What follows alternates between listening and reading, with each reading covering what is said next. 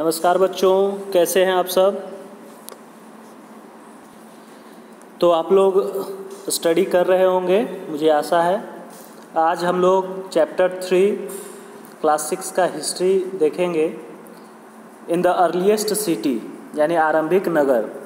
आप लोग कमेंट में हमें ये भी बताया कीजिए कि आपको ये जो डबल फ़ेज़ में मिल रहा है जिसमें हिंदी और इंग्लिश दोनों आपके स्क्रीन पे दिखाई पड़ते हैं। तो ये वीडियो आपको कैसा लग रहा है? आपको पढ़ने में आसानी हो रही है या नहीं? आप बताएँगे। तो चलिए शुरू करते हैं। एक छोटी सी स्टोरी से saving and old building Jaspal and Harpreet. Jaspal और हरप्रीत की एक कहानी है, जो एक छोटे से लेन में Jaspal and Harpreet were playing cricket in the lane outside their home when they notice the people who were admiring the dilapidated old building that the children called the haunted house यानी कि जब जसपाल और हरप्रीत घर के बाहर पास की गली में क्रिकेट खेल रहे थे तो उन्होंने देखा कि जो वो खंडर एरिया था, कि खंडर एरिया का तारीफ़ लोग कर रहे थे जिसे गली के बच्चे भूतहा घर हॉन्टेड हाउस कहा करते थे। So look at the architecture said one of the men उसमें से एक व्यक्ति कह रहा था, इसकी वास्तुकला देखो, इसके आर्किटेक्चर देखो।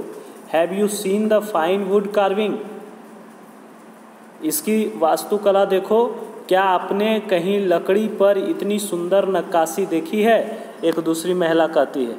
और एक कहती है महिला कि we must write the minister so that the makes arrangement to repair and preserve this beautiful house why they wondered would the anybody be interested in the old run down houses तो उनकी बातों को सुनकर ये लोग काफ़ी अचंभित हो जाते हैं कि क्या कोई इतना इंटरेस्टेड हो सकता है इस खंडहर में भी, जो इसकी मरम्मत कराने की व्यवस्था कर रहा है।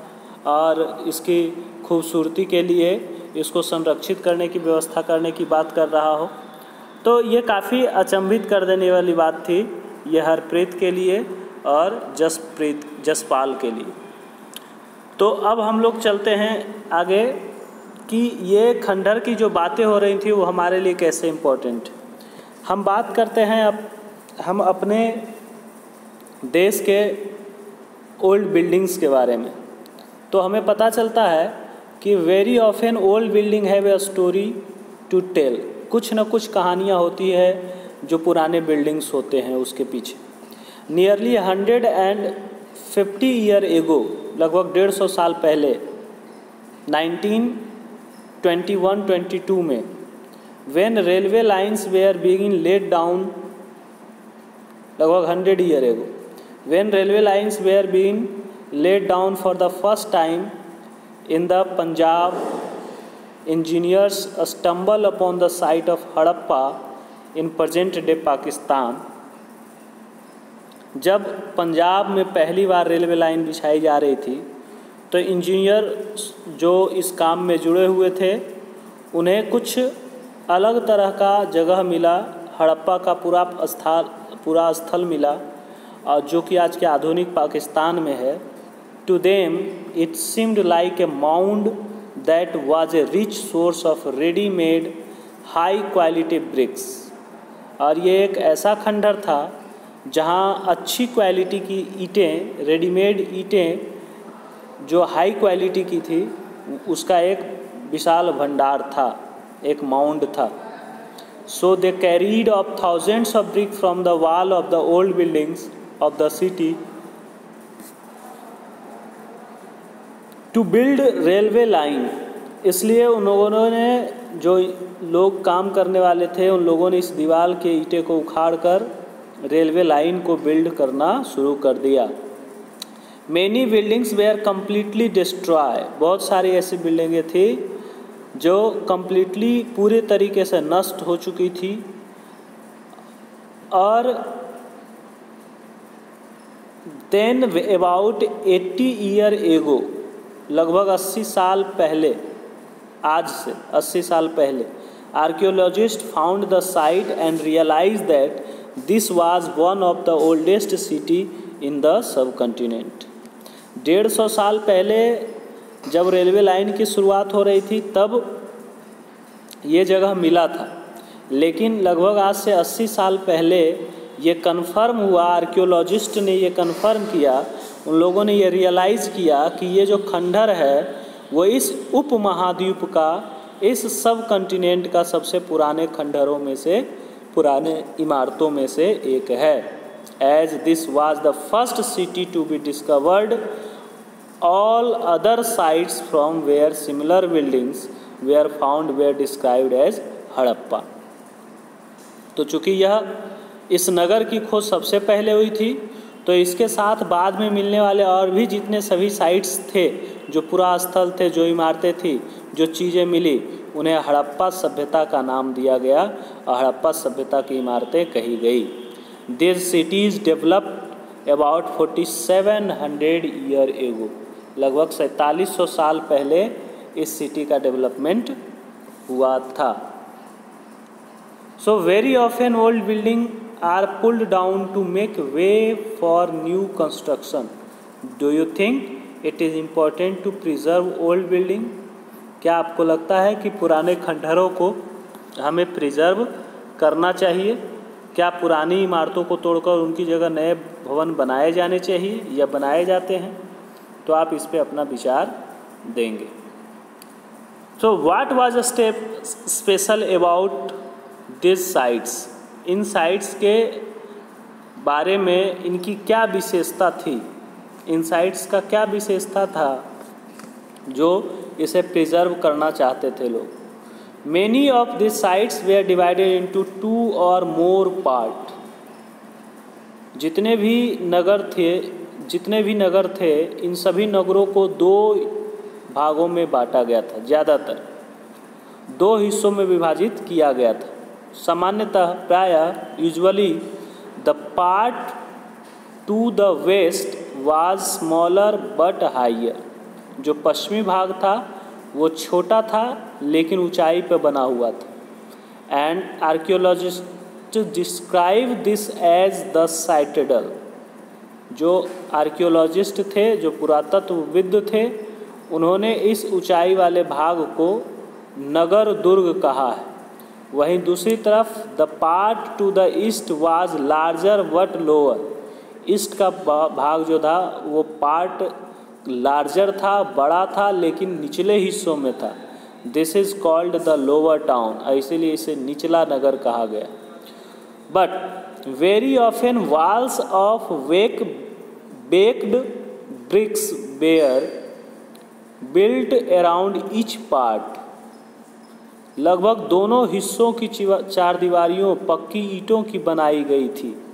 और इसकी ईंटें इतनी अच्छी पकी हुई थी the bricks were laid in a interlocking pattern and that made the walls strong तो सो वेल बेग्ड जो ईंटें थी, जो लगभग थाउजेंड्स ऑफ़ ईयर तक चलने वाले थे the bricks were so well so well baked that they have lasted for thousands of years हज़ारों सालों तक ये दीवारें, ये जो ईंटों से बनी हुई दीवारें थी, वो सुरक्षित खड़ी थी। दीवार बनाने के लिए ईंटों की जो चिनाई इस तरह करते थे कि जिसकी दीवारें, जिससे दीवारें खूबसूरत हो जाती थी और मज़बूत भी होती थी। The bricks were laid in an interlocking pattern. In some cities, special buildings were constructed on the citadel. कुछ नगर के दुर्ग में कुछ खास इमारतें बनाई गई थी अगर मिसाल के तौर पे हम एग्ज़ाम्पल दे उदाहरण के तौर पे देखें तो इन मोहनजोदाड़ो मोहनजोदाड़ो में एक खास तालाब बनाया गया था a very special tank which archaeologist call the great bath जिसको पुरातत्वविदों ने महान स्नानागार का नाम दिया। और इस तालाब को बनाने में ईट और प्लास्टर का इस्तेमाल किया गया था।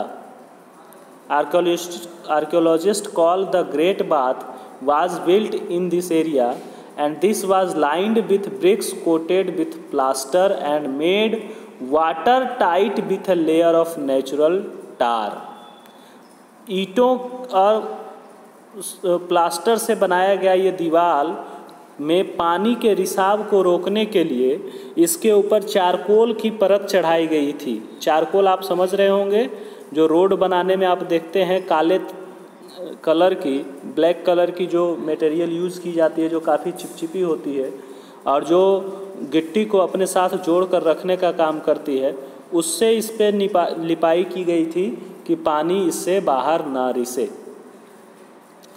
There were steps leading down step leading down to it from two sides while there were rooms on all sides यहाँ जो सीढ़ियाँ थी, वो ऊपर से नीचे की ओर दो तरफ़ से आ रही थी, है ना?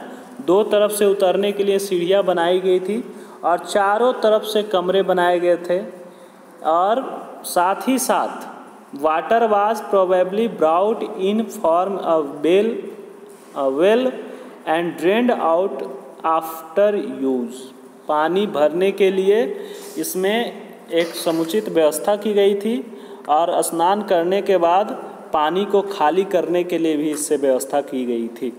Perhaps important people took a dip in this tank on a special occasion और यहाँ विशिष्ट नागरिकों का विशेष अवसरों पर स्नान करने का रिवाज था, ऐसा माना जाता है। शायद ऐसा ही हुआ होगा। Other cities such as Kalibangan and Lothal had fire altars where sacrifices may have been performed कुछ और अदर सिटीज़ हैं जिसमें से काली बंगन और लोथल जैसे नगरों का नाम आता है, जहाँ अग्नि कुंड मिले हैं। संभवतः यहाँ यज्ञ किए जाते थे। यहाँ सेक्रीफाइसेस होता था। And some cities like Mohenjodaro Harappa and Lothal had elaborated storehouse कुछ ऐसे जगह हैं जैसे कि हड़प्पा मोहनजोदड़ो और लोथल जहाँ पे बड़े बड़े भंडार गृह भी मिले हैं, जिससे पता चलता है कि यहाँ पे अनाजों को या और भी अलग चीज़ों को भंडारित किया जाता था। स्टोरेज की फैसिलिटी अवेलेबल थी।